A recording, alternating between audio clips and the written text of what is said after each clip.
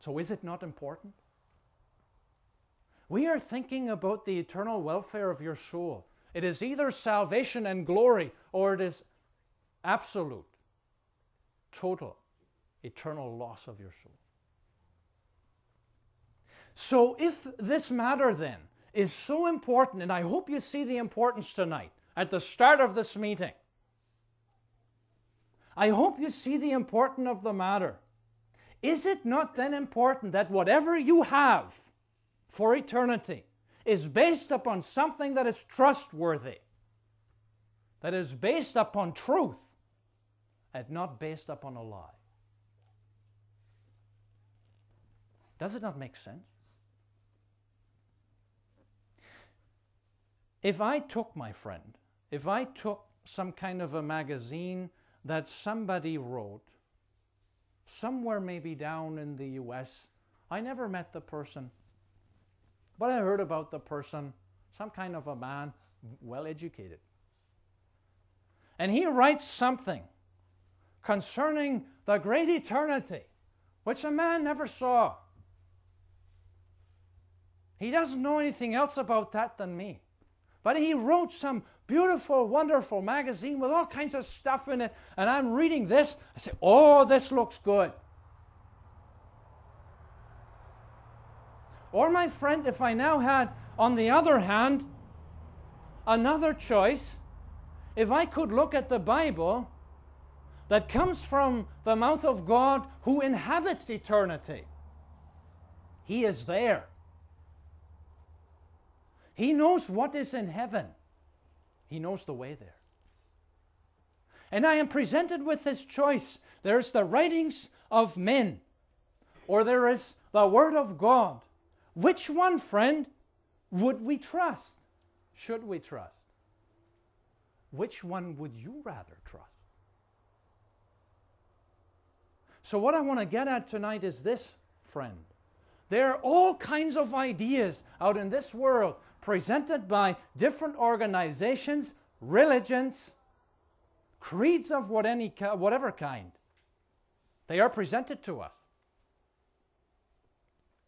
Somebody told me recently that there is over 3,000 different religions in this world. The ideas of men. 3,000 plus religions that all differ somewhere. There's not two that are the same, at least not completely the same. There are differences there. Friend, there is so much presented to us to confuse our minds. And one to the other is different, differing. So when we think about this tonight, would it not make sense, friend, to look for instructions how to get to heaven to look for information regarding eternity, regarding life and death, regarding my life and my death and my eternity for my soul, would it not make sense to ask someone or to look into the writings of someone who knows about it?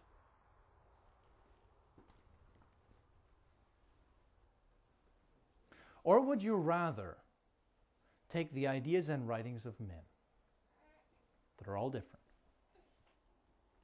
I would like tonight, I only have a few minutes left, but this is one point that I really have on my heart tonight. And after that, you listen to the preaching of the gospel and you make a decision tonight concerning the offer of mercy that God presents in His Word. We read several passages together. I would like to look at them just briefly. Here's Pilate. He asked, Well, what is truth? And it would do you good tonight to ask this question What is truth when it comes to eternity? Going to heaven or going to hell? What is the truth? What did the Lord Jesus say in John chapter 17?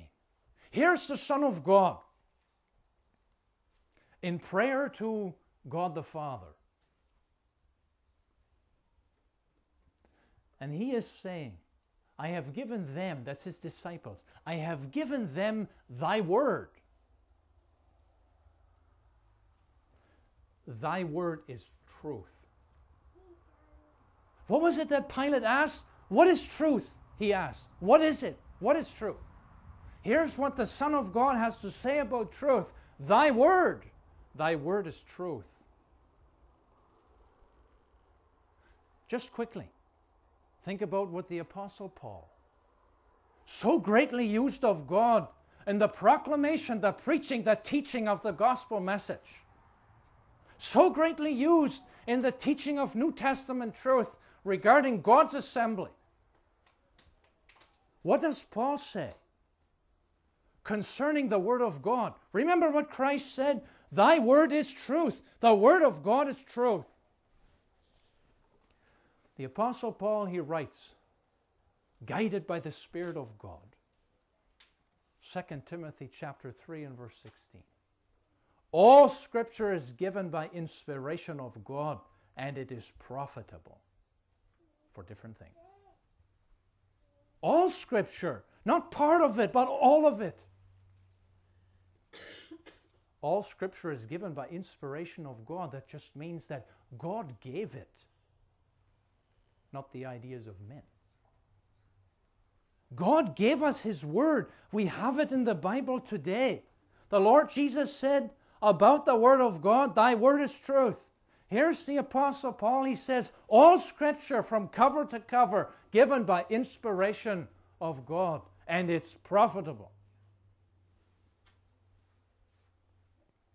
We're using it tonight to present to you what God wants you to have and that is eternal life. Again, think about what Paul is writing now to Titus. Still, it's not his own idea. Inspired, guided by the Spirit of God, he writes to Titus about God. He writes about everlasting life, what Paul had himself. He didn't have it all his life, he was saved. He had a moment when he received it when he received eternal life as a free gift from God. And now he is writing, guided by the Spirit of God, concerning this everlasting life, this gift, that God cannot lie. I won't go back. The Lord Jesus said about the Word of God, Thy Word is truth. The Apostle Paul says all Scripture is given by inspiration of God, it's profitable. He says God cannot lie. He is absolutely trustworthy. God will not mislead anyone. He will not. Let's move ahead. Just a few minutes left. What does Peter say? Second Peter chapter 1 concerning the prophecy. They did not follow the apostles. Friend, listen to this. The apostles, when they taught, when they preached, when they made known unto the world the great offer of mercy that God has for the whosoever regarding the Christ, the Lord Jesus, that He wants to be the Savior of sinners, He wants to be your Savior tonight.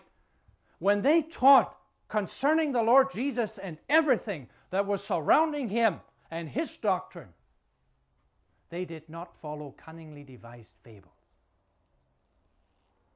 They did not follow lies and the teachings of men. But what they had was a more sure word of prophecy. Here are these eyewitnesses that surrounded the person of Christ.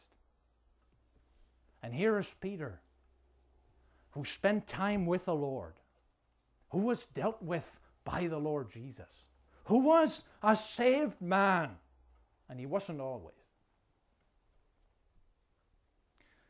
And he says concerning the scriptures that holy men of God spake as they were moved by the Spirit of God. Friend, tonight, what are we looking at when we open the Bible and we read the things that it tells us? What are we looking at? What would you say? Now, you don't have to tell me in the meeting here tonight. I'd love to hear from you oh, outside, maybe afterwards. But you don't have to. I'm not going to ask you either. But what are you thinking about the Word of God, the Bible? Think again, please. Friend, think again. What did the Lord Jesus say about it? Thy word is truth. Now, when it comes to the eternal welfare of your soul, where you will be in eternity, when this life is done, what would you want to base that on? On the Word of God or on something else?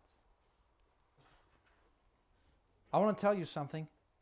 A little over 11 years ago, March the 9th, 1999, after reading the Bible for myself, about a year and a half or so, and after having listened to the gospel simply preached from the Bible, not from any prayer book or some other kind of a book. And I could follow it, I could see it for myself in the Bible, the living Word of God. Four nights of meetings. God was dealing with me. And I saw for myself that God told me in His Word that I was a sinner before Him, a religious sinner. I was going to church. But I saw for myself from the Word of God that I was a sinner and I was going down to hell. Never saved. I was never saved. But then, March the 9th, 1999, in the evening, lying in my bed in Mrs. Tickner's house, reading the Word of God, John 3 and verse 16 For God so loved the world that he gave his only begotten Son, that whosoever believeth in him should not perish, but have everlasting life. Friend, you know what I did? I simply took God at His word and I put the eternal welfare of my soul into His hands, building upon what He said in His Word, giving me the promise that if I trusted Christ and His work, that is, His death on Calvary's cross to pay for my sins, that He was my substitute and bear the punishment that I deserve. That He simply, I can't make any simpler than this, that He died for me, the guilty sinner. I took God at His word that that is truth, that it is trustworthy, that it is a promise from God that He has recorded in the Bible for me. I took Him at His word. And that moment I was saved. God gave me a peace I never had before. God gave me the gift of God, eternal life, which I never had before. God gave me a contentment, a new life that I never had before, a moment of salvation. Friend, tonight, I base my eternity upon the Word of God.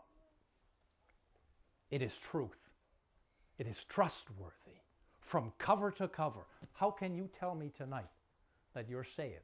And some do here. And you have trouble believing that the Word of God is true in other places. Something wrong there. Think about it as the meeting continues and as you will listen to the gospel preached. The Word of God.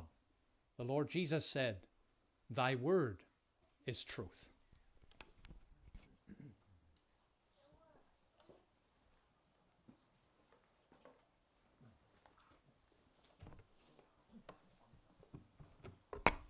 Uh, it's great to see each one tonight. Thanks for coming. Lord willing, meeting here